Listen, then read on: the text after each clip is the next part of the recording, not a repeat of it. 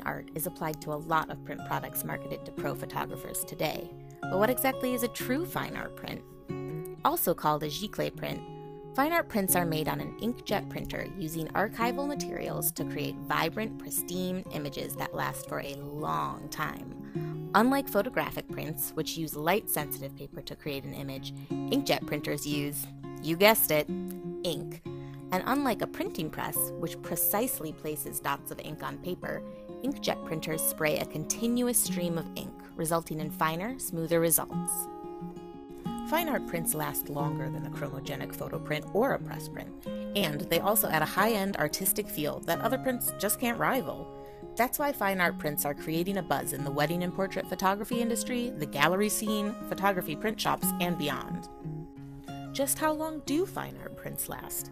It could be 50, 100, even 200 years. There really is no industry standard for what the word archival means. The lifespan of a fine art print is a moving target that depends on a lot of variables, like ink, paper, and storage methods.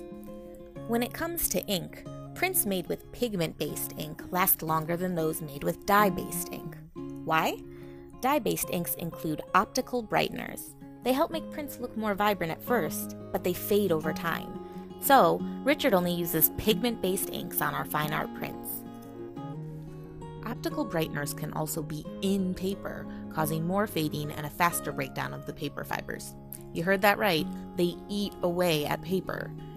When it comes to archival power, papers made out of natural fibers are the best, which is why Richard's fine art paper offerings are almost exclusively 100% cotton and optical brightener free. Richard currently offers seven different fine art papers. Canson BFK Rives, a 100% cotton, lightly textured paper with a slight matte finish. This paper is mold made, mimicking a handmade paper. It's all about strength and quality. Canson Infinity Baryta Prestige, a smooth, glossy paper that's bright white. It's made of cotton and alpha cellulose, which is a component of wood pulp. It's not overly thick, but manages to have a heavyweight feel similar to a true darkroom print.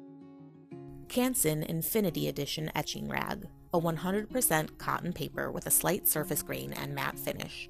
It's great for high detail imagery because it keeps images sharp and gives an artisan feel without being overly textured. Canson Infinity Platine Fiber Rag, a 100% cotton paper with a slight texture and unique satiny finish. It displays deep blacks and gray tones extremely well, perfect for black and white photos. Hahnemühle Photo Rag, a textured matte paper made of 100% cotton. It's known for its archival performance, and it's one of Richard's best sellers. Try this paper with images that would benefit from its pulpy artisan style.